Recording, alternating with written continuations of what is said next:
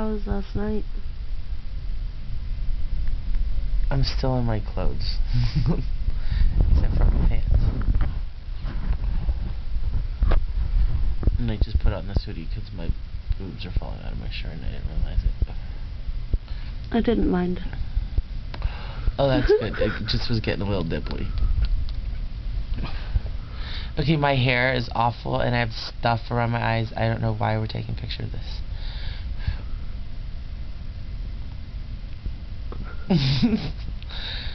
Come on.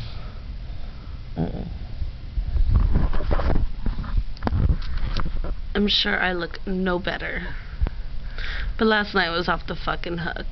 Man, you still have Aqua Net in your hair. Do I? Can you see it? If you do it like that. Oops.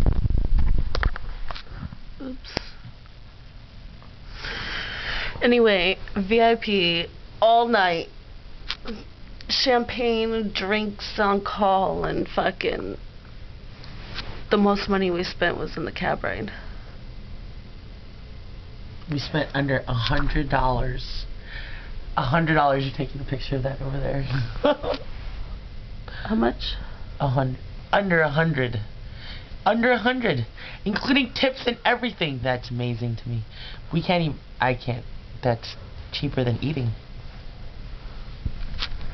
It's cheaper than eating. um, and we're going to Bow Wow tonight. Yay! Side door. And it's the weirdest gay club I've ever been to. I really thought that Brokeback Mountain in fucking Las Vegas was gonna be the worst one, but this is fucking wow.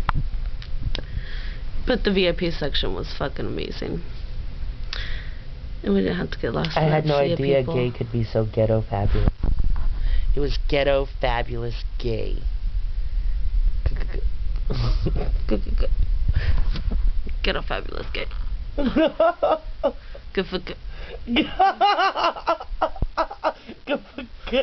Good for good. okay. You'll see Bow Wow tonight. Peace.